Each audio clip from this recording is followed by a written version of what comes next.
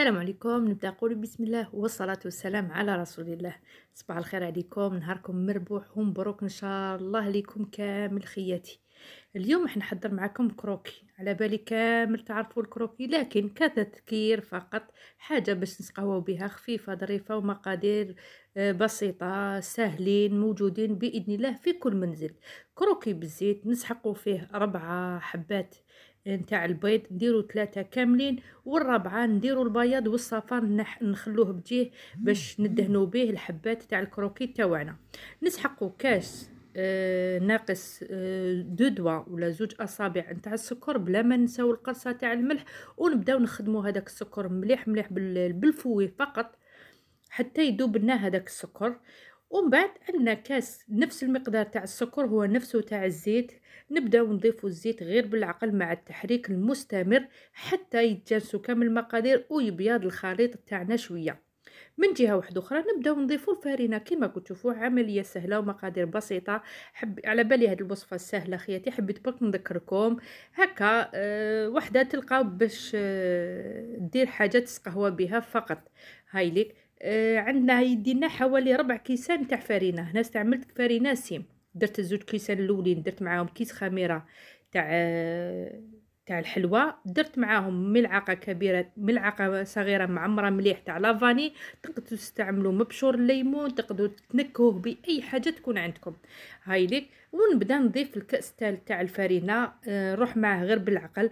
هنا دالي ربع كيسان هذا الكأس تاع الفرينة الثالث نكملو كامل. والرابع نضيفو غير بالعقل نخلي منه شوية.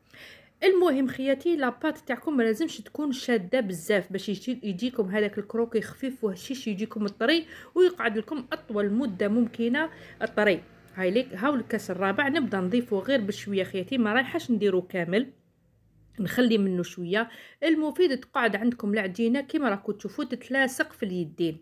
هاي ليك l'astuce تاعها نشد كي تكون العجينة تاعنا مع الأخر تلاصق ما نقدروش نخدموا بها ندهنوا يدنا بشوية زيت ونبداو نشكلوا في الكروكي تاعنا. أنا هاد الكمية اللي درتها دارت لي آه زوج آه كما نقولوا زوج مستطيلات تاع تاع الكروكي. بواسطة الزيت بديت نشكل في الحبات تاع الكروكي تاعي من جهة واحدة أخرى. سخنوا الفرخية على درجة حرارة 180 درجة نشعلوه من تحت ونجيب سنيوه ندير فيها آه ورق الطهي هاي ليك نحط الحبة تاع ولا لو بودان تاع الكروكي تاعنا في السنيوة اللي فيها بابي كويسون ونبداو نسويلو في الجوانب تاعو. من الأحسن تستعملوا لا كوبات باش يجيكم الشكل تاعو شباب ويجيكم متقون. هاي ليك. حبة ولا الصفر تاع الحبة تاع البيض اللي خليناه درت له شوية عطر الشوكولا تقدروا تستعملوا شوية تاع القهوة تقدروا تستعملوا عطر الكراميل. المفيد باش نحو هذيك الريحة تاع البيض ويجيكم اللون تاع الكروكي من الفوق يجيكم حامق خياتي. ماشي كيما لو كنديروا الاصفر برك. كي نديروا له هاد المعطرات سواء قهوة سواء عطر الشوكولا ولا عطر الكراميل رايحين تحصلوا على اللون تاعو هذاك الشباب اللي كما نشوفوه في المقاهي وفي المحلات اللي يبيعوا الحلوى.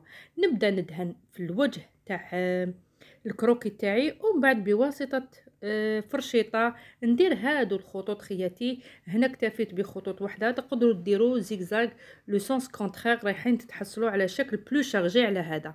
هاي لك خياتي. هنا راني مسخنه ال four كما قلت لكم على 180 درجة. درتو طيب ومن بعد درت له تحميرة شابة من الفوق. شوفوا كيفاش تحصلنا عليه. ما يتشق ما والو علاش العجينة تاعنا؟